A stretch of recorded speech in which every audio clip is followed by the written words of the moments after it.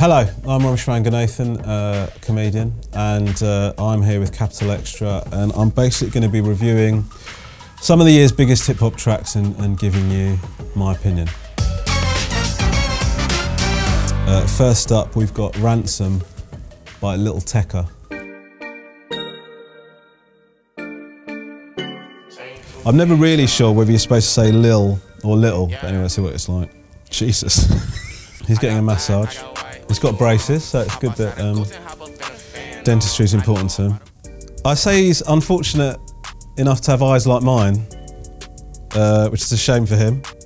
Uh, so he's sort of dancing around quite a lot, but it looks like his face doesn't know where the rest of his body is. He's showing absolutely no emotion in his face at all. He's then got loads of women on treadmills with blokes screaming at them. Um, so I guess fitness is important to him. Uh, I think this is dog.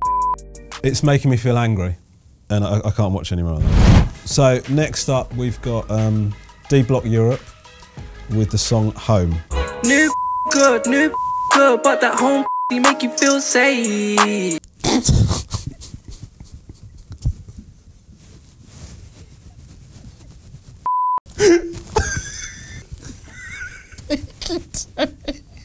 He said, it said new good, new good, but the old makes you feel safe. I agree with that. So my hostess would be my wife. If she ever accused me of cheating, I think that's what I would say to her. I'd say, look, new good, new good, but your home makes me feel safe. It's not bad. Do you know what I mean? It's like the video, um, it's them sort of hanging around, basically just having like a bit of a session.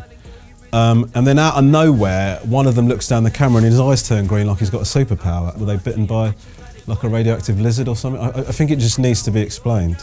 Or that's one of the dangers of new makes your eyes go bright green. Could be.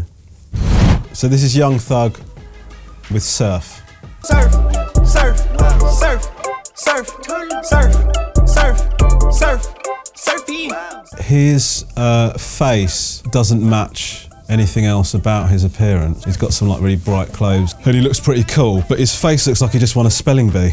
It's a confusing video, I would say. The song's called Surf, then go to the beach, um, and then they get on some quad bikes, and then some very attractive women fire super soakers at each other.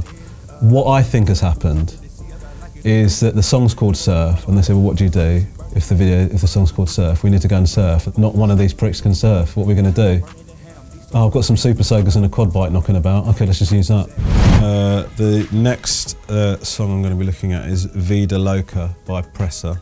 Down, don't act like that. Kiss her forehead and grab that back. And she gets gas when she does man's plats. Man, a bad man, don't take no chat. Splash a boy's chest when she's arrow back. Ain't got Some girls in uh, swimsuits, but bikinis in this video, which is uh, it's been a common feature. It actually looks like the car park at um, Crawley Debenhams, but I don't think it is.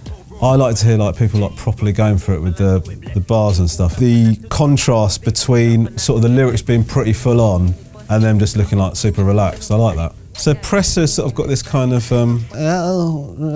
I got 30 in this Glock and finish why I think you got it.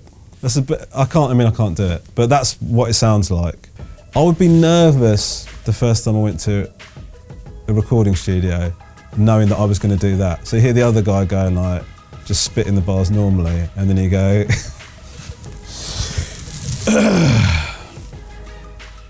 One of two things has happened here.